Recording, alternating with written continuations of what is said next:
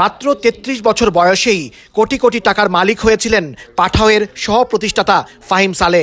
নিজের সৃজনশীলতা দিয়ে নজর কেড়েছিলেন অনেকের। কিন্তু প্রতিহিংসার কাছে হার মানতে হলো প্রতিভাবান এই তরুণ উদ্যোক্তাকে।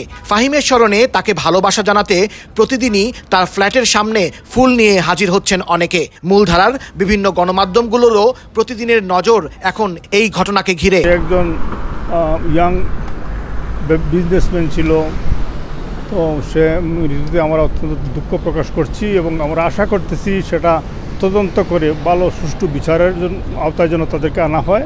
ফাহিমের হত্যার সঙ্গে জড়িত থাকার অভিযোগে শুক্রবার সকালে তার সাবেক সহকারী টাইরেস ডিভন হাসপিলকে গ্রেফতার করে নিউ ইয়র্ক পুলিশ। গোয়েন্দা সূত্রে জানা গেছে, ফাহিমের এক লাখ ডলার চুরি করেন একুশ বছর বয়সী হাসপিল। তবে অর্থ চুরির বিষয়টি নজরে আসার পর পুলিশের কাছে অভিযোগ করেননি ফাহিম, বরং টাকা ফেরত দেওয়ার সুযোগ দেন হাসপিলকে।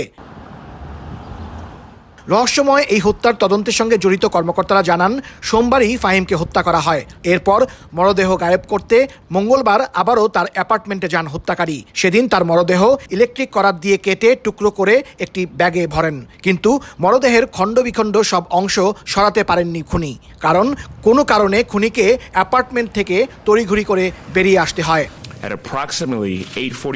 যেহেতু তদন্ত চলছে তাই আমি মৃত্যুর সঠিক কারণ সম্পর্কে এখনই বিস্তারিত বলতে পারছি না। তদন্তের মাধ্যমে আমরা তিন দিনেরও কম সময়ের মধ্যে অভিযুক্ত হাসপিলকে গ্রেফতার করতে পেরেছি। তিনি ফাহিমের ব্যক্তিগত ও আর্থিক বিষয়ে দেখাশোনা করতেন।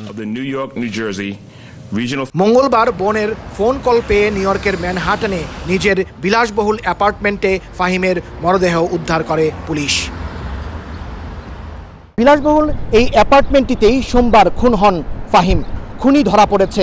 কিন্তু এক লাখ ডলারের কারণেই কি খুন হতে হয়েছে ট্যাগগুরু ফাহিম সালেকে?